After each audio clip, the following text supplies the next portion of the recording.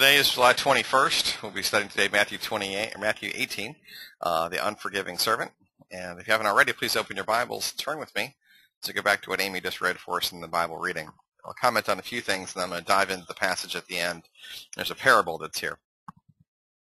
So uh, the passage starts out, uh, Jesus continued to teach, and at that time the disciples came to Jesus saying, who is the greatest in the kingdom of heaven? So they're squabbling amongst themselves. They sort of understand that there's some sort of hierarchy here going on.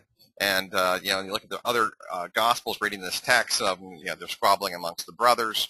Um, one of them actually has one of the mothers of, of two of the, uh, the brothers of the disciples, and, and she's really kind of concerned about their position in the overall hierarchy here. How is it, who's going to be first? How's this going to work?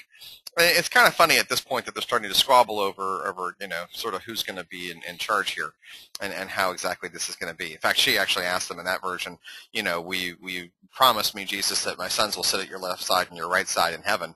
And he's like, you don't know what you're asking. You really, you really don't understand what you're asking. Well, anyway, so the point of this is that Jesus' response to these various versions is that you're asking the wrong question. Um, and so he goes and grabs a child and, and said, you know, calling them a child, he put him in the midst of them and said, Truly I say to you, unless you turn and become like children, you will never enter the kingdom of heaven. Now, I don't know if that's for about being having a childlike faith. I think probably part of it is. Um, you know, we, we do everything we can here at Stepping Stones to understand. We do what we can to understand the Word of God. We do what we can to understand our Lord. But at the end of the day, we're not going to get it all. And in that sense, it is very nice to envy the children in their childlike faith, and that being that that's relatively simplistic. Um, we, we have to fall back to that. Yes, we do our best to understand the mysteries of the faith, but at the end of the day, we must appreciate the fact we're not going to get it all. And anybody who tells you they've got it all figured out, I think you should probably be afraid of, and I certainly am not the person there. So, um, verse 4, whoever humbles himself like this child is the greatest in the kingdom of heaven. The Bible tells us that the first shall be last, and the last shall be first. And so it's by humbling ourselves that we are then allow God to raise us up as he sees fit, and his timing is perfect. Well, he goes on to talk about the kids a little bit. Verse 5, Whoever receives one such child in my name receives me. But whoever causes one of these little ones to believe in me to sin, be greater, better for him to have a great millstone fastened around his neck and drowned in the depth of the sea. He's saying that to go ahead and lead children astray, or anyone, any young in the Christ astray, of course, is a horrible thing. And he goes on to say, woe to the world for temptations to sin. And these the words that he describes here saying, well, it's necessary for temptations to come, but woe to the one by whom the temptation comes. He's saying that, that it, it's bad that we are tempted, but it's bad, even worse, to be a tempter or a temptress, to be the person who brings temptation to someone else's door and perhaps causes them to stumble is larger than the sin that they themselves create. And so I, I think you need to keep that in mind. I think I need to keep it in mind. We all do.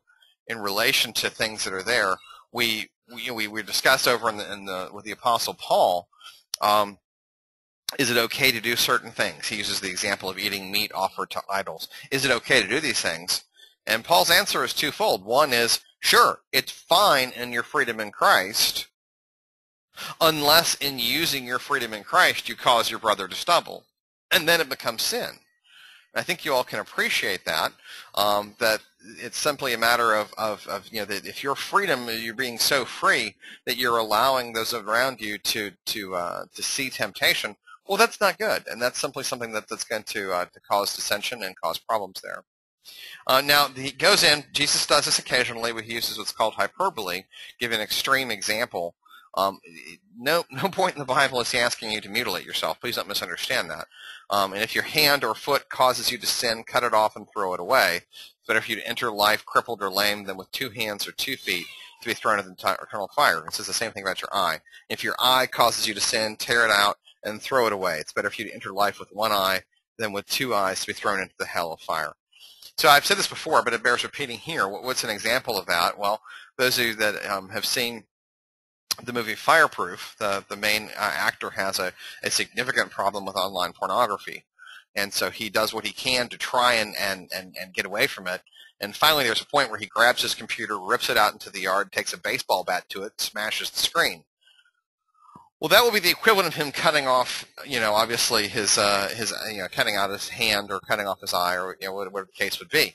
Um, in that regard, it is taking the step of apparently that there's no way he's going to be able to successfully uh, be able to, to to be around the internet, at least not during that part of his life, um, without you know, surfing pornography. So he takes the spot where he did have his computer, where he spent hours and hours, and he replaces it with a, with a vase of roses for his wife, who's, by the way, trying to divorce him at the time.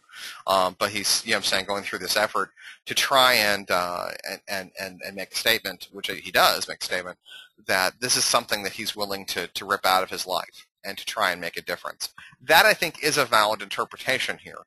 We there are times when we simply have to say, you know, I mean, if if you were an alcoholic and if you said to me, "Gosh, every time I go to the bar, I have a slip," I would say, "Don't go to the bar." But that means I can't hang around my friends. As a Christian, shouldn't I listen to witness to them? Well, yeah, you should. But to be honest, you're not doing a great job if every time you end up on the floor crawling home. Okay? You know, so you know, it's the old joke, doctor, doctor, when I raise my hand, arm, it hurts. The doctor says, don't do that. Same deal here. If there's an area that you know, if you do X, you're going to sin, right? Then don't do X.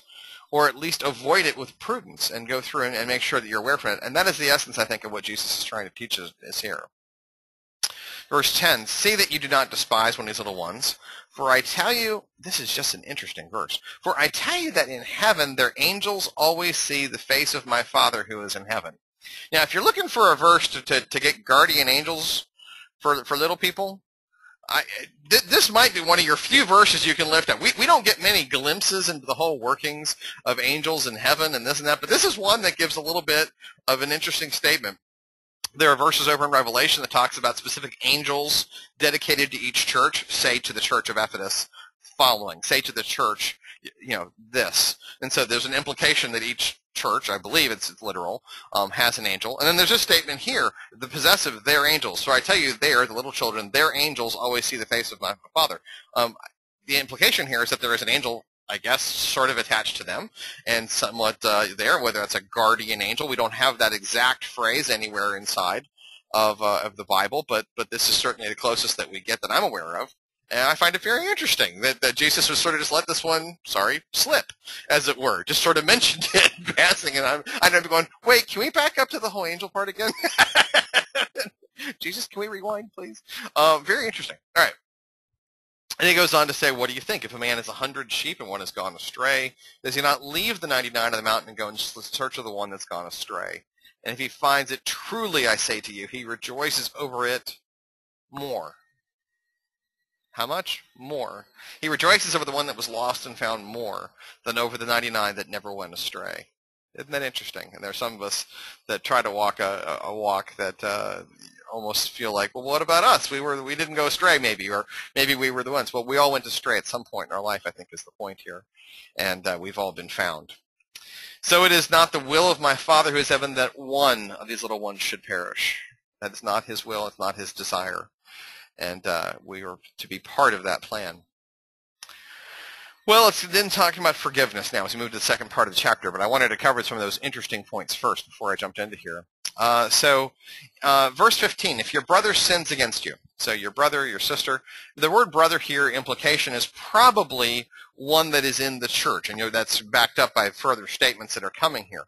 So your brother or sister, this is, this is your Christian brother or sister, one who is in Christ, in the church with you, either the church, uh, you know, in the local New Testament church sense, like stepping stones, or at least in the broader church sense, that they're in the, the you know church uh, overall, um, if your brother sins against you, go and tell him his fault between you and him alone. If he listens to you, you have gained your brother. So this happens at times where we have an injury, and the question is, what do I do about it? And if you're like me, you're more inclined to tell 15 other people than you are the one person who actually you feel hurt you. That, can I get an amen on that? Is that is that the way we are? And, and we, we do it in the context, perhaps, of counseling. Well, I just want to get some good counsel from somebody else. True, and maybe you do, and maybe you do get good counsel, and so forth. But it's really easy to certainly go through and have many, many, many, many, many, many discussions. I mean, how much counsel are you looking for here? But uh, to go through and have many, many, many discussions about the one who hurt you rather than ever go to the person who you feel hurt you. Sometimes that hurt is intentional. Sometimes the person meant to hurt you. Sometimes it's it's certainly callous. Sometimes it's a misunderstanding. Sometimes it is not there. And in the case of someone who's in the church, particularly with Christians, we are called to think the best of Christians. We are called to give them the benefit of the doubt.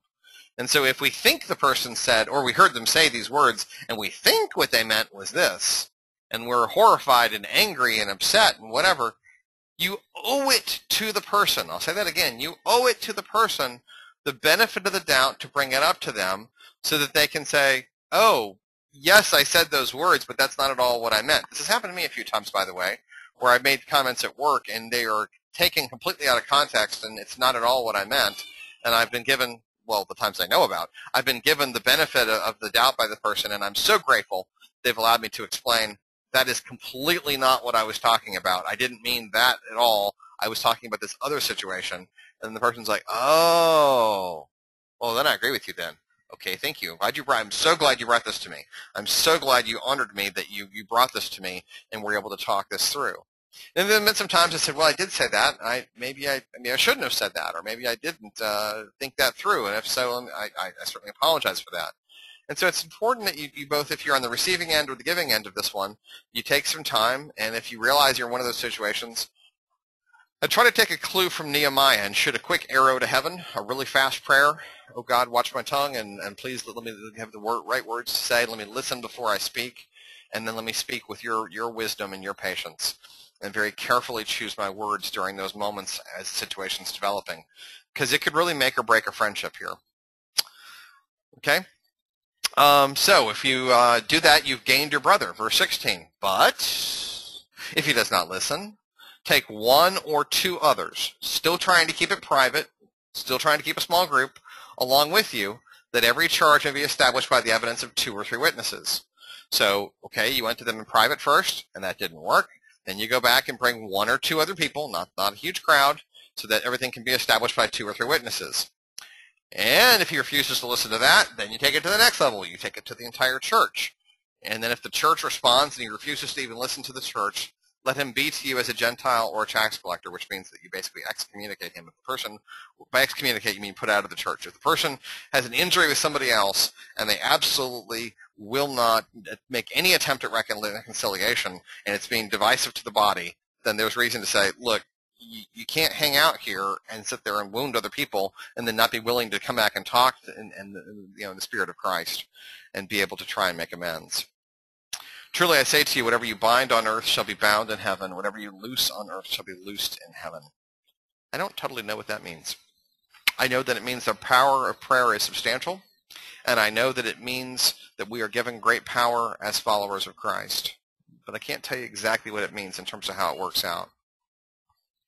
Verse 19, Again I say to you, if two of you agree on earth about anything they ask, it will be done for them by my Father in heaven.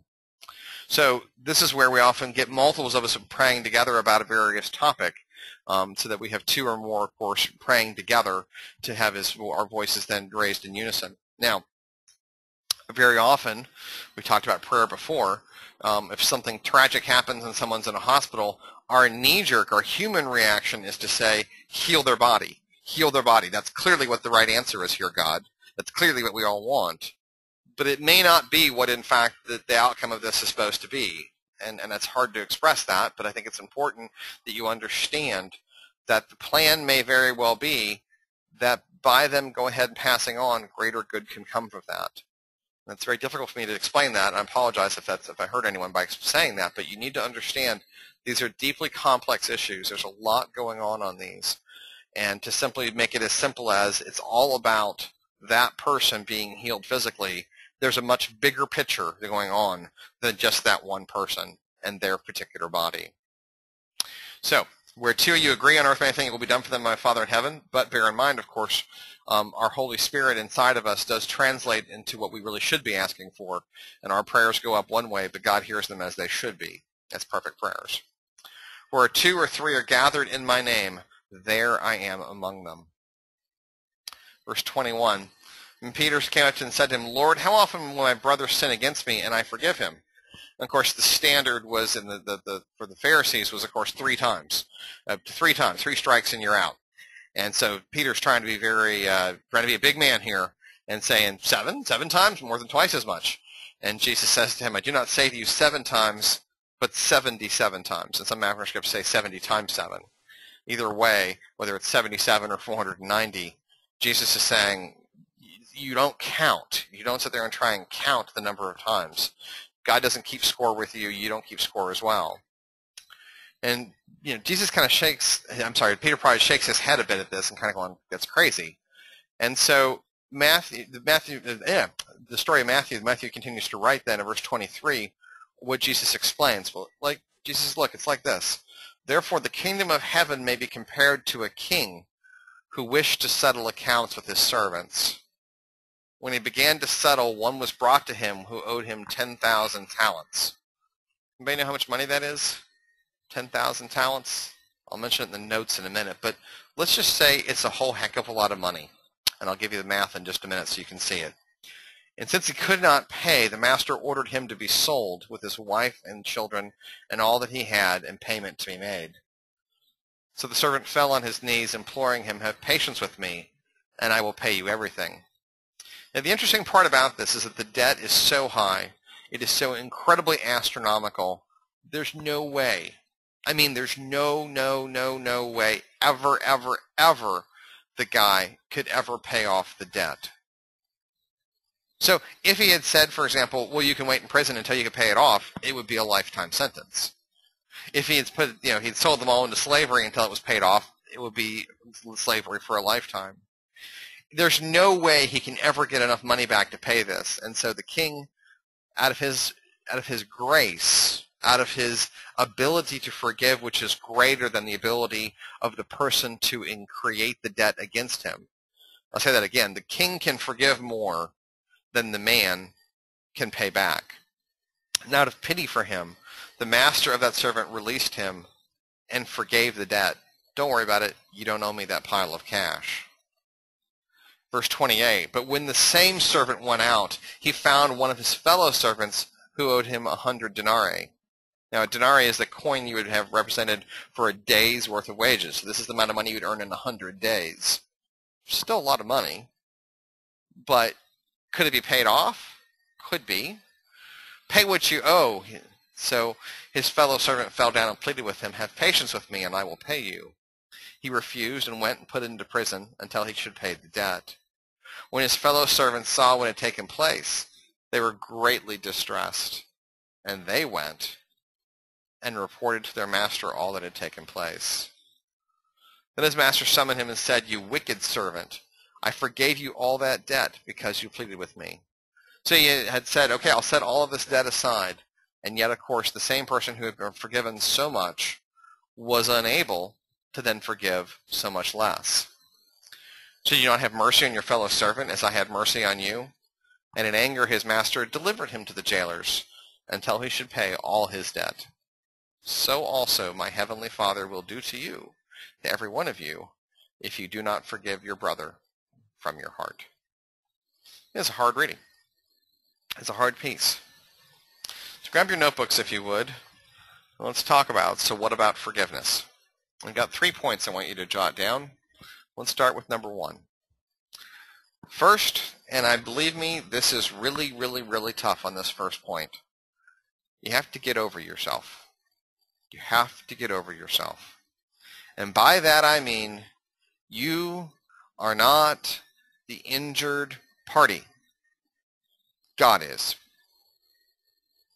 Now everybody here listening to my voice today has been injured. Everybody's been hurt by somebody else. Every single one of us has been hurt.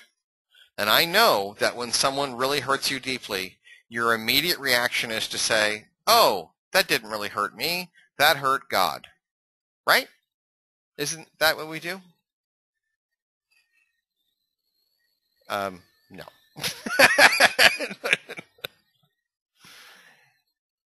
but think about that one for a minute.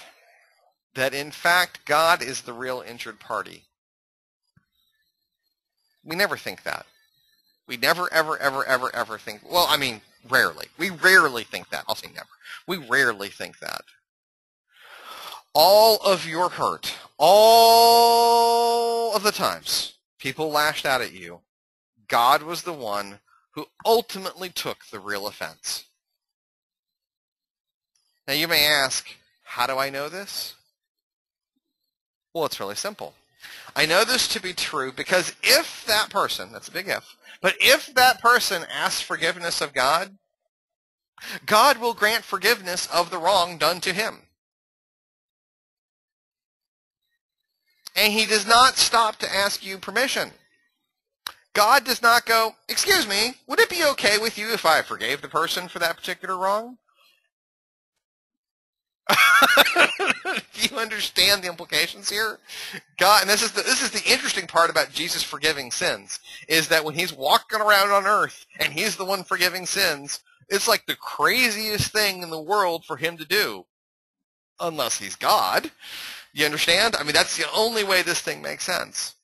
Paul says our real, our human nature is tough to overcome, really tough. I would agree, but God doesn't ask your permission to forgive the sins that are done against him, we probably don't like that. Well, doggone it, God, I they they did this to me, and it really hurt, and they don't. God doesn't ask you your permission to forgive, guys. He doesn't ask me either. He's the real injured party. Yes, we experience pain. I'm not suggesting your pain is not real. It is. But the real pain the real hurt and the real offense is actually God's. Because he's the one that writes the standards of what are right and wrong, and that's what's violated. So all of those things that you thought you had control of the forgiveness of. You know, the ones that you, you still got stored in your wallet, the ones you're like, oh, I'm going to get to this at some point and forgive this, but not today. The ones you got stacked up there. I mean, you probably have those, right? I mean, I do. I, I, I, assume you're like me. All those things you thought you had control of the forgiveness of. All of those things you were trying to become big enough to forgive. Oh, I'm going to get there at some point. I'm going to get there at some point. I'll be big enough. I'm praying my way through it. I'm not there yet. You think you're in control of those. Guess what? For all you know, they already asked forgiveness of God. Now you might say, oh, this person wouldn't. He would never do that. You don't know. But if they already asked forgiveness of God, it means God's already wiped it clean, and God's way of forgiving is better than our way of forgiving. He buries it in the sea of forgetfulness. God's already forgotten about it. This is an interesting statement, right? And for all we know, that person may be at peace. So there's three parties here. The other person, there's you, and there's God.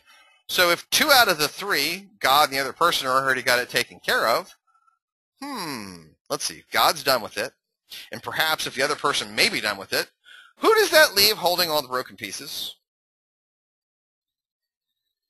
Who exactly is the one here carrying the weight of the situation? Who's the one who thinks they're in control and waiting till they're big enough to forgive? And the answer is you and me. Trying to get permission from you to let go of what you only have. I find the situation ironic. And some of you probably aren't real happy with me at the moment, but this is the way this stuff works. Is that we, it becomes, when we become what we perceive to be the injured party, it becomes a control issue. That we're now in control of deciding when we will or won't let go of that particular item or forgive that person. It becomes a control point. And I think you need to understand you're not as much control as you think you are, and I'm not either. So again, step one, it's not about you. Forgive quickly and move on. It's not about you. Forgive quickly and move on. Step two, recognize that you were forgiven first. Step two, recognize that you were forgiven first. In the parable, you are not God, the king. I'm, I'm not either. You're not. I mean, I kind of like to be that, right? And they're like, I'm, I'm the king, and I've been wronged with this big piece, and I get to forgive. I would like to see myself in that capacity. You're not God. I'm not God. That's not our role in the parable. Our role in the parable, unfortunately, is the middle layer. You and I, you are the one who cheated God and was forgiven a huge debt. How much? Well, in case you're curious, 10,000 talents works out to approximately 150,000 years worth of wages with an $8 minimum wage, which isn't quite, but assuming an $8 minimum wage is $2,250 million. I mentioned earlier, there ain't no way he's ever going to pay it back. Do you get my deal? I mean, and people listening to Jesus' story was like, that's like, I mean, that, I mean, they're trying to understand. That's like all the wealth of Israel. That's like, I mean, humans don't owe that much money, Jesus. I mean, you understand that? You, you, you know, nobody could rack up a bill that high. That's just like silly. I mean, nobody could ever pay that much. And he's like, yes, that is exactly my point. You can never, ever, ever pay your spiritual debt. There is no way. There's no, no way you could ever pay your spiritual debt to God for all the things you've done wrong. It costs too much. One tiny sin is too expensive, and we have a whole lifetime worth. So he's looking at you and saying, do you understand that this is what you've been forgiven of? And, and unfortunately, this example, that it gets, we say lost in translation. Well, this is a good example. 10,000 talents. Okay. But if I say $2 billion, you go, oh, all right, I understand. So I could never pay a bill that much. There you go. Right, exactly. All right. So in the parable, you're not God, the king. You were the one who cheated God and was forgiven a huge debt. So you've been forgiven the $2 billion. Because you were forgiven much, you should be able to forgive little. How little? 100 denarii, that's approximately $6,400. Okay, now is it going to hurt, so to speak, to forgive $6,000? You're looking at going, I could really use $6,400 right now. I could really, really use $6,000. But in fact, would it destroy you financially to forgive $6,000? Would it ruin your entire life? Believe it or not, guys, if you're here listening to me, my voice on a computer and you can afford an internet connection, during your lifetime, you probably could take that hit. Do you understand? I mean, you, you, you, you, you maybe you think you couldn't, but believe it or not, you probably could. You could actually survive that as a lifetime loss, and you could go through and absorb that. You could not pay two billion, but you could absorb the six thousand. And this is the point. You have been forgiven much. I have been forgiven much, much, much. And so therefore, I can at least forgive little. Your perceived slights, your pieces against you, the difficulties you feel, these are but light and temporary pains, guys. They're just a little bit. I remember a story that uh, I, I told part before, but I, I, think I'll repeat it here anyway. And that was the that uh, this one, one young musician was was talking to us. Uh, we were in, a church in Kentucky, and he was telling a story that he had a, a vision of of seeing, uh, you know, some of the, the various apostles and so forth with T-shirts on. They were up in heaven, and you know Peter was there. I was crucified upside down for my Lord. Jesus has a T-shirt that said, "I was, you know, I was crucified for the sins of the world." Paul had a T-shirt that said, "I was beheaded for you know for my belief in Christ," and uh, he was was there. And his difficulty was that he, because of work he'd been doing for Christ, he had to eat, eat cold French fries because his fries were cold that night because he didn't get a chance to take care of something. And his T-shirt said, "I ate cold French fries for Christ." think about that in terms of what exactly it is that happened to you. Maybe it's a lot more than cold french fries. Maybe somebody really hurt you physically. Maybe they hurt you financially. Maybe they keep trying to do so. Maybe they really, really are lashing out at you because they feel, for whatever reason, that it's going to make them feel better if they hurt you. That happens a lot in our world. Person thinks that, that you're the cause of their issue. Maybe you were at some point. But because of that, they feel that they will feel better if they can cause you some pain, get some money out of you, get you to say something, do some sort of whatever. And that's the way they're wired up right now. It's hard. It's really hard when somebody out there is trying to cause you pain. And yet, what is that pain compared to what we are called to be able to look at what Christ has done? And what is that in relation to what exactly it is that we ourselves have been forgiven of. Now, I heard it, I've said it before, I'm going to say it again. I'm not asking you to be a doormat. I'm not asking you for the person to put yourself in a situation. If you're if you're a wife today and you've been abused, I'm not saying you need to put yourself back in the abusive situation. Forgiving doesn't mean letting yourself be used as a doormat or a punching bag. It does mean that you can then change the relationship so you don't extend the same trust to that person in the same way. You may very well say, I forgive you, but I'm not going to put back situations so you get to hit me again. Okay? But you do forgive what's there. And we forgive because of what was given to us. In fact, that gets us to the idea that if you have this part that, man, that's going to really cost me, maybe you just need to charge that to God's account. Maybe you just put it on God's tab. Because you know what? He's already put two billion on for you. You could just say, well, I just charge the six thousand to him. Okay? You just go ahead. He's already covered your tab. Which kind of brings us to step three.